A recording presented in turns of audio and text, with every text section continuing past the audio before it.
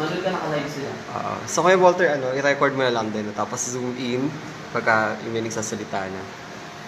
Si. Para ano din.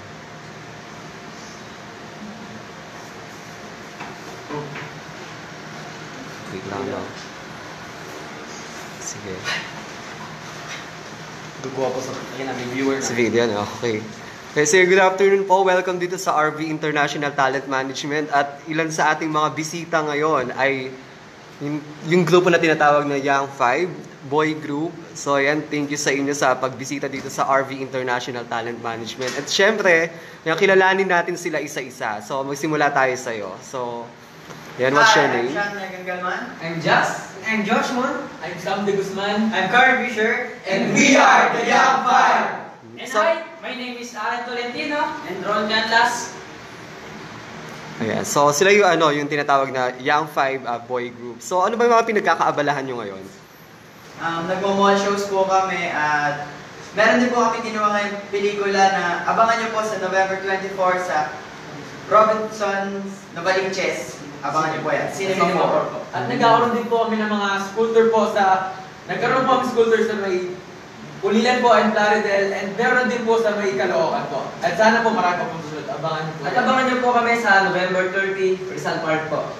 Wow, ang dami ah. So, ah, sige, dun tayo sa movie na magsa-showing on November 24. So, ah, konting idea naman. Ano ba yung tinat ano ba yung ano ba yung perfect time na ito? So, yung perfect time po is about family, friendship, and victory. And ito po yung umiikot sa buhay ng limang kabataan na may iba't ibang kapala, may iba't ibang kapalaran sa buhay o estado sa buhay, pero pinagtagpo ng tadhana para po makamit ang tagumpay. Panoorin niyo po yan kasi po marami po cultural values kayo matutunan po. Yan po. na yan. Ah, so, okay, kumbaga, hindi lang ito parang kabut ordinary film lang. Meron talagang mga mga matututunan yung mga viewers, especially sa mga millennials like you.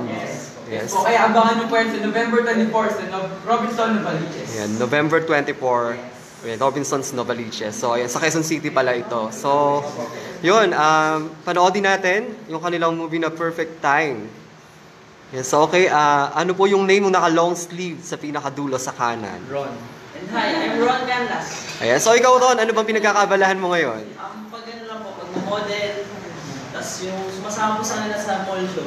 Ah, so y- talagang ano eh, dami yung ano eh, mga ganap no, mga mall shows from from field, ganyan. So nakakatuwa na yung mga kabataan talaga ngayon, 'di ba? Nagse-set talaga sila ng example, especially sa mga kapwa nila millennials na bukod sa pag-aaral, lahat ba kayo nag-aaral pa?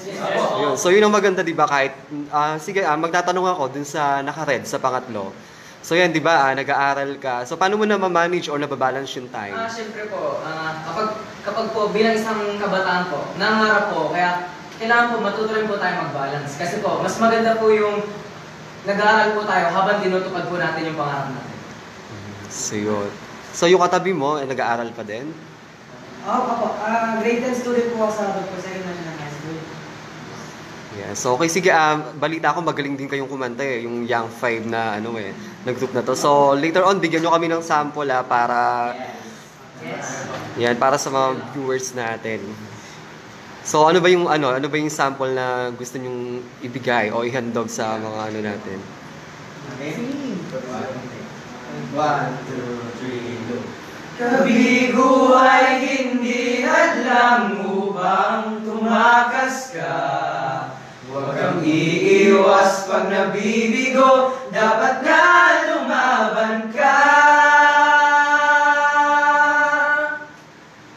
Ang kailangan mo, hindi ba'y ng loob kung mayroong pagsubok man.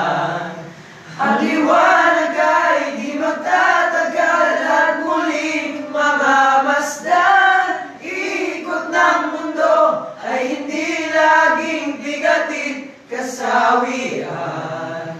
Ang pangarap mo ay makakamtan, basta't maghintay ka lamang. So yan, thank you sa inyo ha, sa pagbisita nyo dito at sa BTR with yung mga kasama namin dito. So, once again, ah, panoodin nyo po yung kanilang indie film na Perfect Time sa November 24 sa